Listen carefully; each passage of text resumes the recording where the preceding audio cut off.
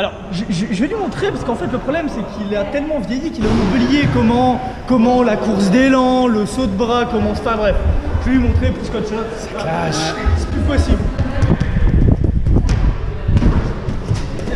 Vous voyez, ça c'est un très bon exemple de je veux tout montrer, mais je sais même pas agripper à un mur avec mes mains. On va, Voilà. voir, on va voir ce que tu vas Il a faire. la distance, mais il a pas la technique Déjà, ni mets les l'expérience. pieds sur le mur, Johan, mets les pieds sur le mur.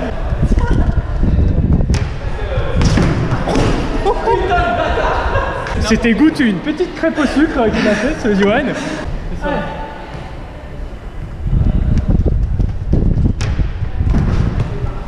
Beau gosse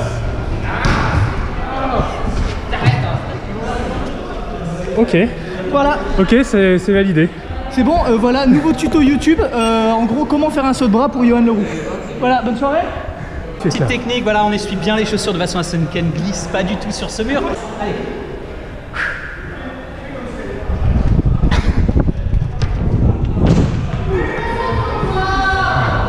Je t'emmerde, ça a marché